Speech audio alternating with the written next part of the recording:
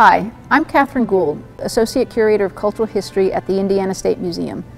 I'd like to invite you to our upcoming exhibition, Art Meets News, the work of photojournalist Bill Foley, opening March 28th.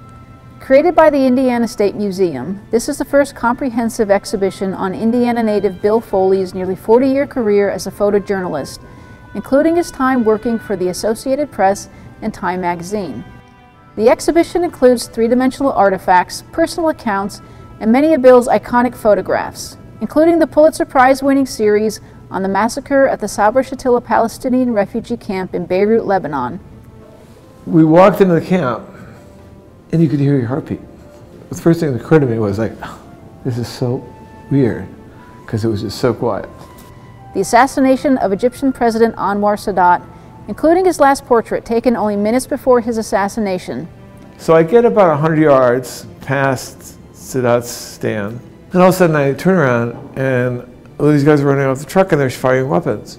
And I don't know if this is part of the show or if this is unscripted. And the bombing of the U.S. Marine Corps barracks in Beirut. At a certain point on the airport road, you could see the barracks. And we got to that point, and I turned to Terry and I said, it's gone.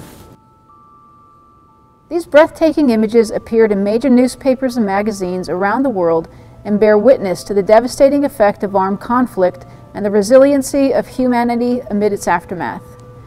Bill has worked on assignment in more than 47 countries, spanning the Middle East and throughout Europe, Africa, and back to the U.S. This national exhibition premiere brings the whole story of photojournalism vividly to life. Art Meets News explores a collection of approximately 100 vintage photographs, contact sheets, camera equipment, and more. Please join us March 28th through July 19th at the Indiana State Museum to view this compelling exhibition.